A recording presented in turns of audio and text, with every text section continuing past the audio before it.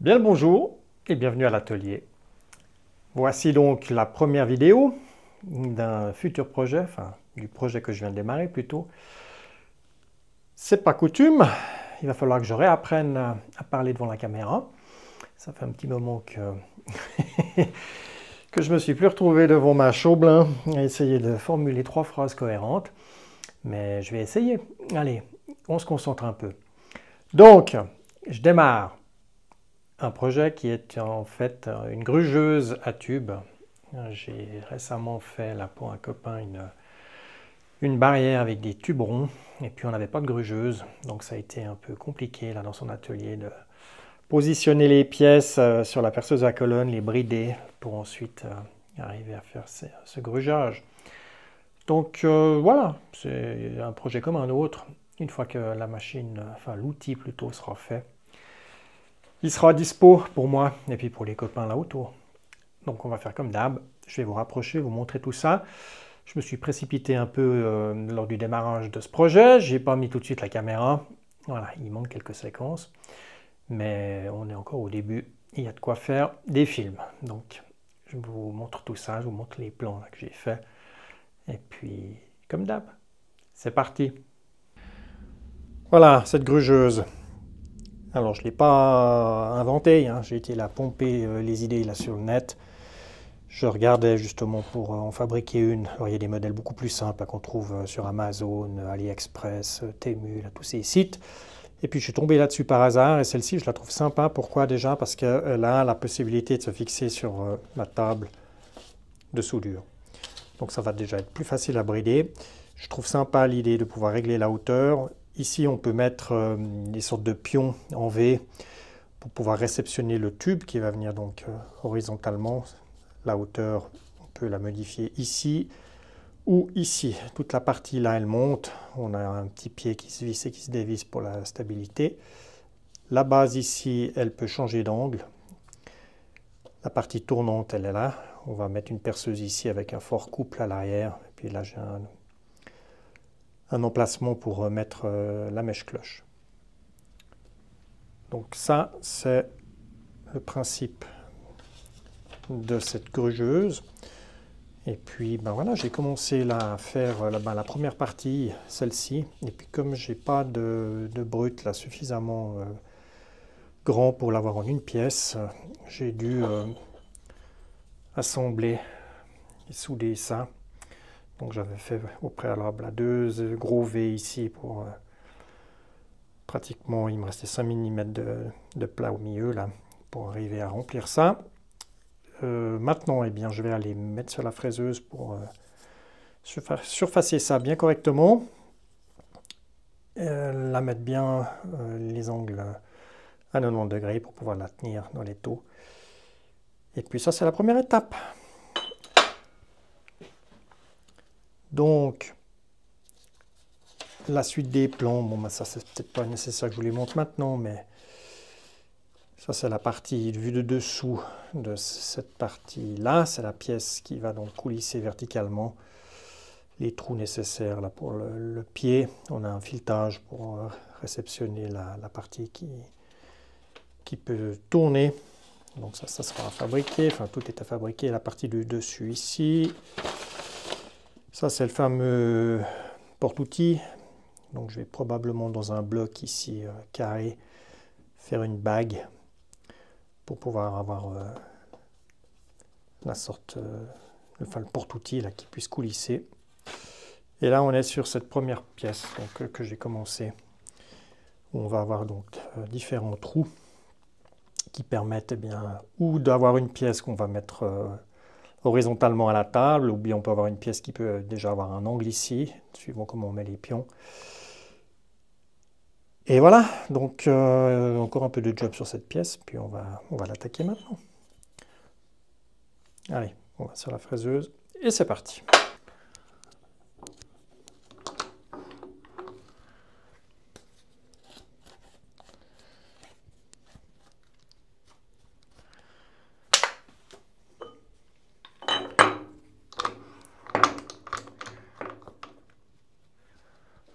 Positionner ça verticalement.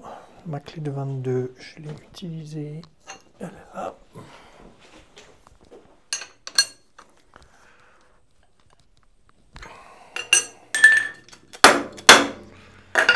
Ok, on va rester avec euh,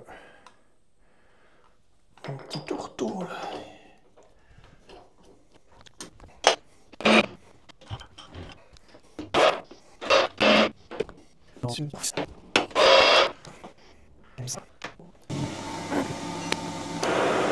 vais vous montrer un peu ici les graissages qu'il faut contrôler. Ça fait un moment, ben, là je viens de la déménager, donc j'ai quand même regardé un peu ça. Je sais pas si vous y voyez là, sur le... On a une, voilà, du goutte à goutte. C'est le truc qu'il faut faire attention. Qu'il y ait bien du goutte à goutte, c'est tout ce qui permet la lubrification de la table des avances.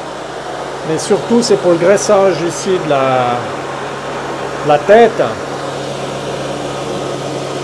Là-dedans, j'ai aussi un petit, euh, un petit récipient.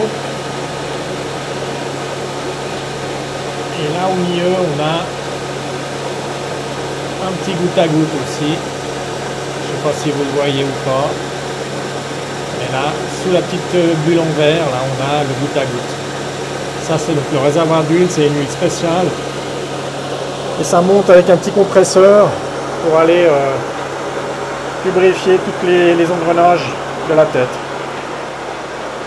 Donc c'est bien de temps en temps. Euh, il y en a encore un à l'arrière en fait, aussi. À l'arrière de la... dans le dos là.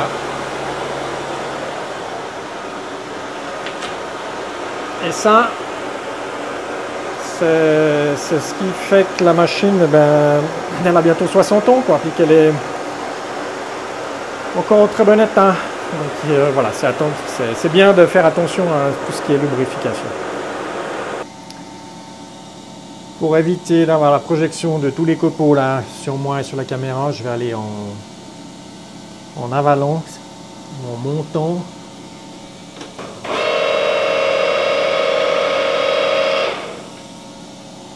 Et l'avantage ben, de la machine, c'est qu'on a dans la table, enfin, sur tous les axes d'ailleurs, un rattrapage de jeu, ce qui permet de pouvoir euh,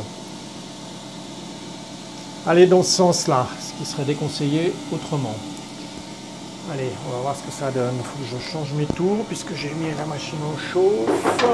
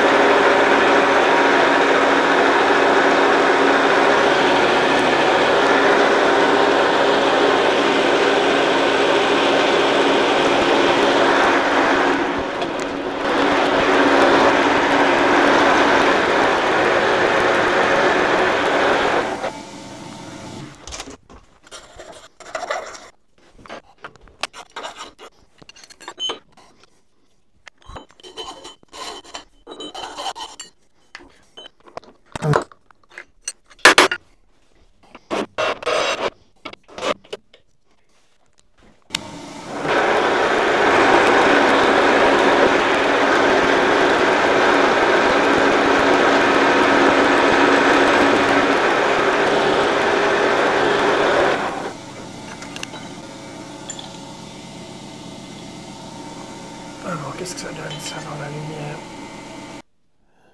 Pas vraiment à 90 degrés, là. Donc, on va prendre le temps, puis on va rectifier ça.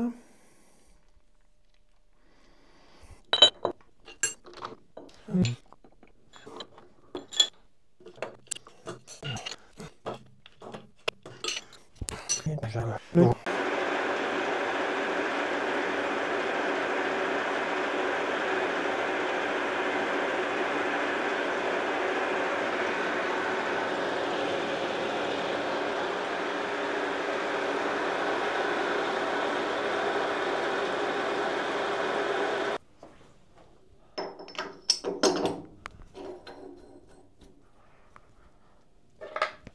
le grand frère ici.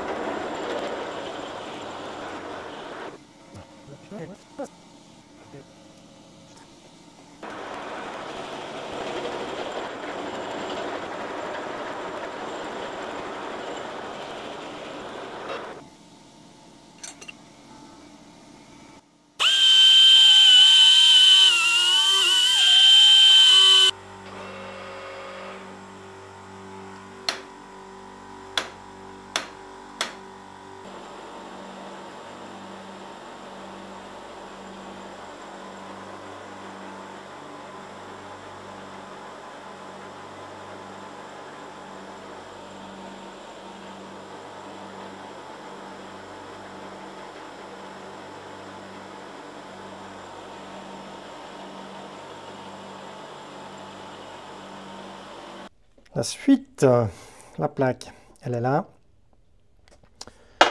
Je vais commencer le perçage là, des différents trous sur la, face de celle-ci. Ensuite, j'ai sous le, le champ là, je vais avoir trois trous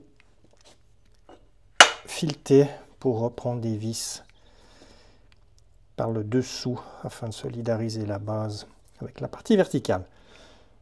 Donc on va aller sur la fraiseuse. J'ai commandé ma fraise euh, queue d'aronde là pour faire euh, à 45 degrés. Je ne l'ai pas encore reçue, donc ça sera pour, euh, pour après. Alors, on va regarder pour placer cette plaque. Va commencer. On va faire un peu des trous. Je suis obligé de mettre des cales fines là, parce qu'autrement je vais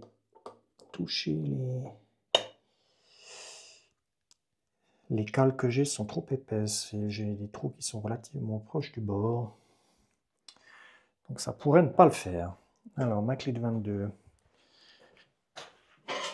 Je m'en achète une deuxième un jour, c'est clé de 22. Toujours en train de courir après.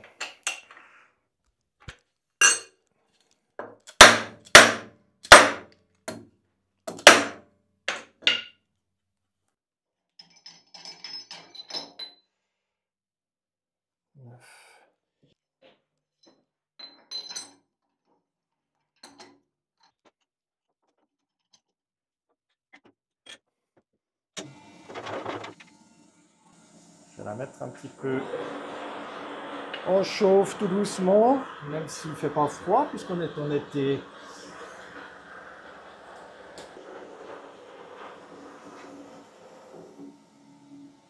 Là, voilà, peut-être un petit peu plus prête à tourner à 800 tours minute. C'est cet angle-là que je veux mettre à zéro.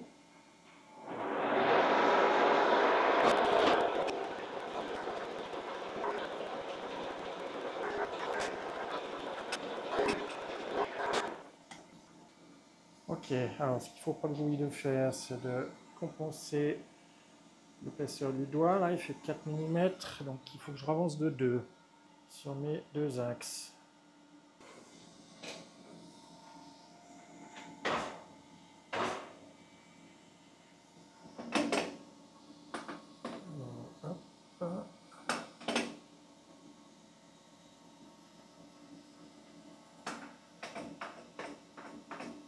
2. Euh, là, on est bon. Et 2. Voilà. Là, j'ai mon 0.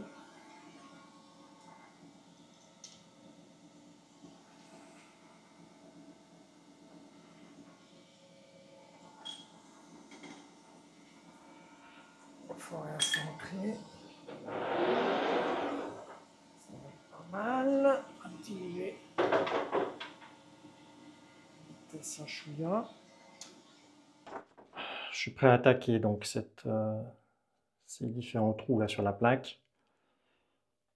Mon point de référence, c'est l'angle ici là, que je viens de mettre euh, à zéro avec euh, la pinule. Et puis, je vais faire des pointages simplement avec un forêt à centrer.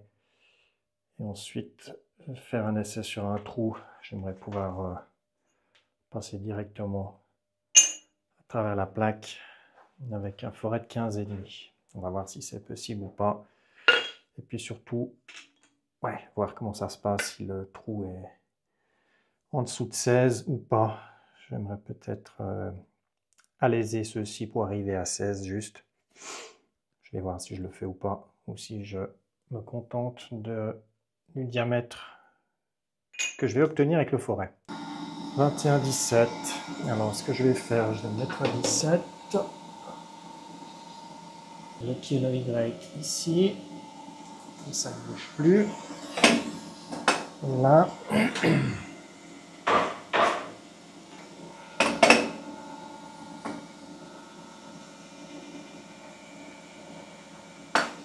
Voilà, je pense qu'on va aussi se tenter d'une précision approximative. Test de montée.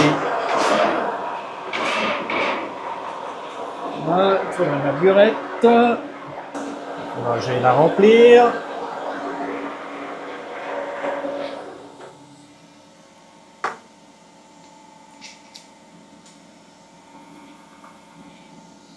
Ouais.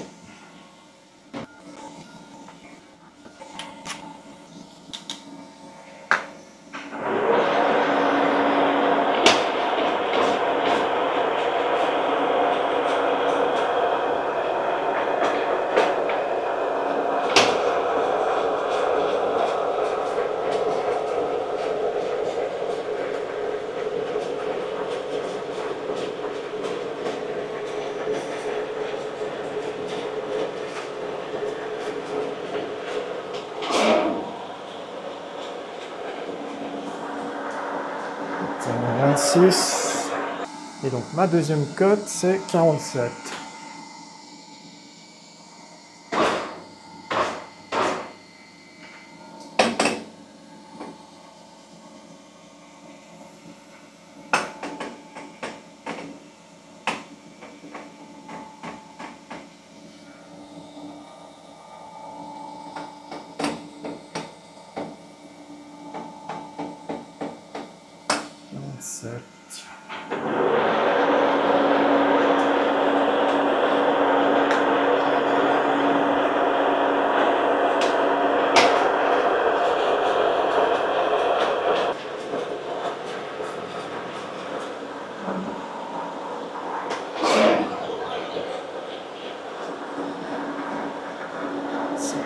Bon,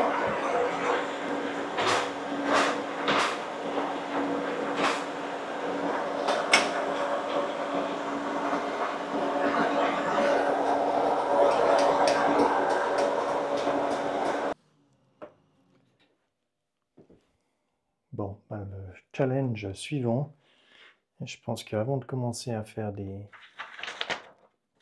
des projets sympas comme ça, il faudrait que j'en ai un qui est un peu moins sympa, c'est installer cette ventilation pour extraire un peu euh, ces vapeurs ici les fumées de l'huile de coupe, parce que je suis obligé de travailler avec la porte du garage fermée, et je respire pas bon là.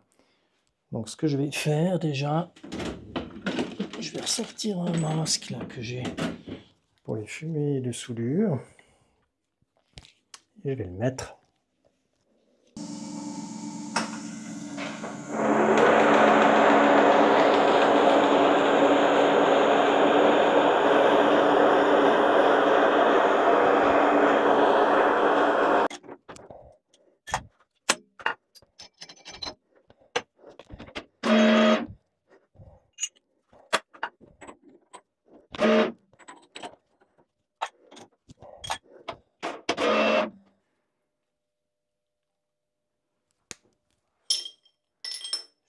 Ici parce que l'eau, sinon, elle coule sur l'étau, elle coule sur la table et elle ne va pas dans le bac de récupération, mais elle va par terre. on va voir si j'arrive à limiter de faire trop de cochonneries.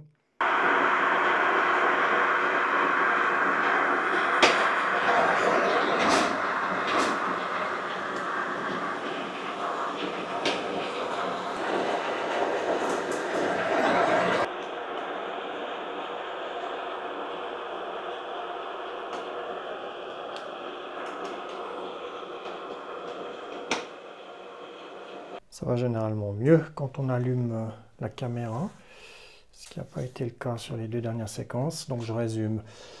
J'ai terminé le perçage de la plaque, j'ai finalement été alaiser un peu mes trous pour être bien à 16. J'enfreigne tout ça à main levée avec une perceuse à un cul. Et puis là, je suis en train d'effectuer les trois derniers perçages qui sont sur la partie inférieure de la plaque, puisque ici j'ai trois M10 qui viennent pour reprendre plaque de base ici que je vais devoir fabriquer tout à l'heure. Voilà, donc là je viens d'aller faire mes, mes trous de centrage. Je vais percer ça et fileter. Un forêt court et ça devrait pouvoir passer.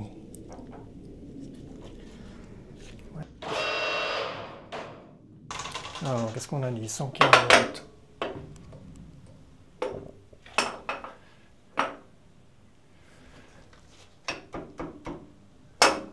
140, on est bon. Et puis, ils n'ont pas tous la même profondeur. Donc là, on est à 30, 30.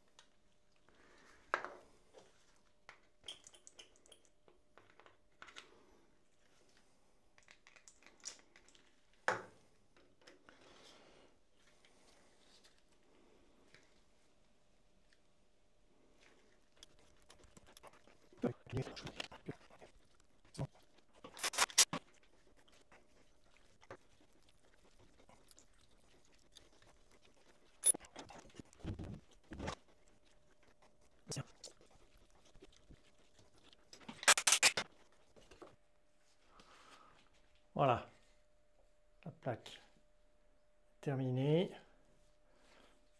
Presque. J'ai encore ici la queue d'aronde à faire. Je vais regarder ça puisque j'ai reçu mes fraises d'AliExpress.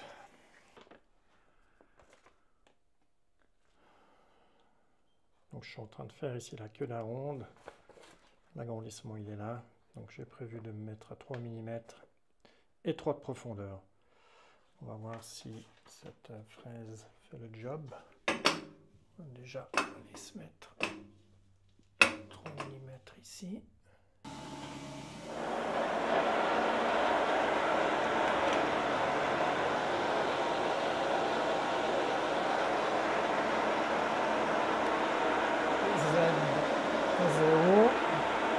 Allez, là j'ai mis 1 mm de profondeur de pince.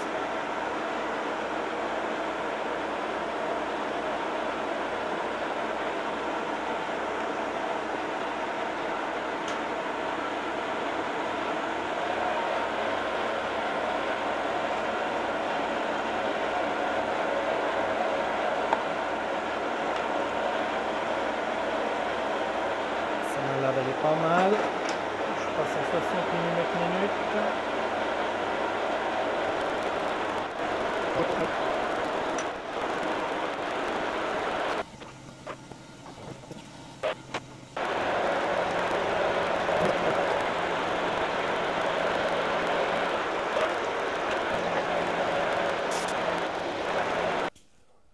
Là, je vais tourner la pièce et puis faire l'autre côté et je serai tout bon. La pièce est terminée. Les trous, allez-y, chanfrein, cette queue d'aigle c'est bien passé aussi. Cette fraise AliExpress, on est très bien sorti, donc content de l'achat. Je vous mettrai la référence si jamais ça intéresse quelques-uns d'entre vous. Et puis pour la suite, eh bien, je vous referai peut-être une vidéo, certainement pas quand je vais faire la base ici, rien d'extraordinaire, six trous.